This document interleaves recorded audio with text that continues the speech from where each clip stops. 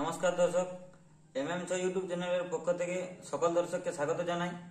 আজকে আমি আপনাদের কাছে যে আপডেটটি তুলে ধরব, সেই আপডেটটি একটি কাড়া লড়াইয়ের আপডেট সে মানে হুড়া কেশবপুরে যে কাড়া লড়াইটি পেরিয়ে গেল, সেই কাড়া লড়াইতে এক নম্বর কাড়া লড়াই হয়নি।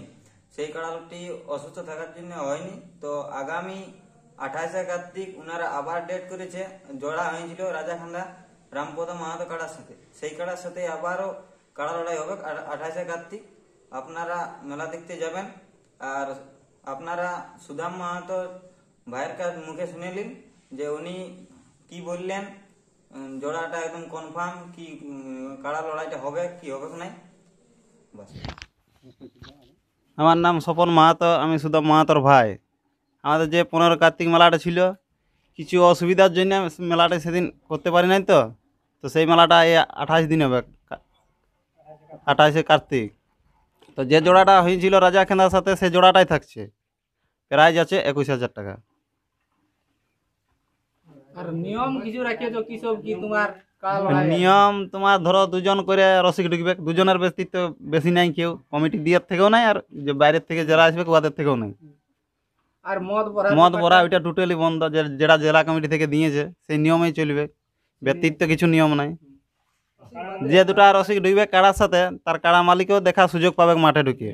বাকি ব্যতীত কেউ ঢুকতে পারবে না। মানে দুজন পাড়ার রসিক হ্যাঁ। আর একজনা মালিক। হ্যাঁ মালিক। মানে তিনজনা বাকি ভলেন্টিয়ার বাকি বলেন সব সাইডে সাইড থাকবে না? আর মাঠ তোমার কেমন বটে? মাঠ আমাদের মাঠ তোমার মাঠ ভালো। মাঠ একদম লেভেল মাঠ। এরিয়াটাও বড় এরিয়া হ্যাঁ বড় এরিয়া অনেকটা। যেটা আঠাশ কার্তিক রাজা সঙ্গে একদম কনফার্ম তো? হ্যাঁ একদম কনফার্ম আর শুনব ধনী উপমাতর ও ধনীরা করিস না আমার উপর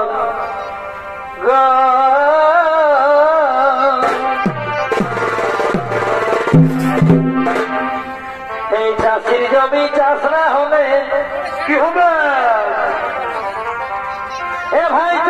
জমি চাষ না হলে হইল জঙ্গল মহলে চাল পাওয়াছে অদল বহে বহালে অদল অদল বহে বহালে।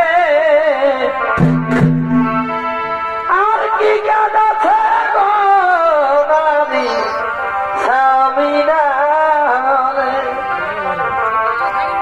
চাষির জমি চাষ না হলে